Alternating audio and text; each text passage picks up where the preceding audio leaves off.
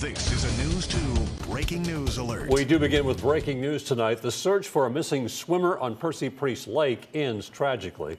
Good evening and welcome to News 2 Now at 10. I'm Bob Mueller. And I'm Haley Wilgus. This was a multi-agency effort. It all started on Thursday evening when first responders got a call about a missing swimmer on the lake. Crews searched last night until around 10, and then they were back out this morning with sonar equipment and drones.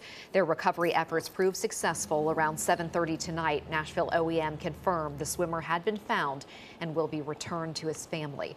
Officials have not released the swimmer's identity.